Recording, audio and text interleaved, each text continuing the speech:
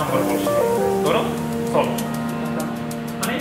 assalomu alaykum. Ismim sharifim matobayev fidatbek data o'quv markazining veb dasturlash kursida ikki yarim oydan beri tahsil olmoqdaman hozirgacha biz ushbu kursda html va css o'rgandik ya'ni saytning asosini tashkil qiladigan qismini tuzishni o'rgandik hozir esa javascriptni o'rganyapmiz bu saytga jon beradi ya'ni uni boshqarishni ta'minlaydigan narsani hozir o'rganmoqdamiz bu yerda darslar yuz foiz amaliy olib boriladi ushbu jihat bizda xotiramizda saqlanib qolish uchun katta yordam bermoqda va darslar interaktiv usulda o'tkaziladi ya'ni har bir o'quvchi